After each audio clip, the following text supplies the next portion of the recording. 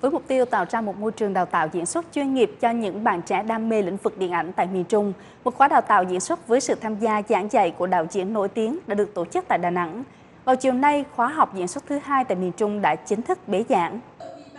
Trải qua một thời gian được đào tạo, huấn luyện với những bài học diễn xuất từ cơ bản đến nâng cao do đạo diễn Tony Lê Nguyễn, nhà làm phim người Úc gốc Việt đứng lớp, chiều nay 10 học viên của lớp diễn xuất khóa 2 đã bước vào bài thi tốt nghiệp, thử thách bản thân ngay trên sân khấu.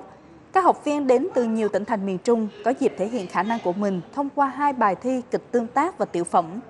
Đây sẽ là những hạt nhân tương lai đầy triển vọng, đóng góp cho sự phát triển trong lĩnh vực điện ảnh cũng như đời sống văn hóa nghệ thuật của thành phố Đà Nẵng và khu vực miền Trung Tây Nguyên.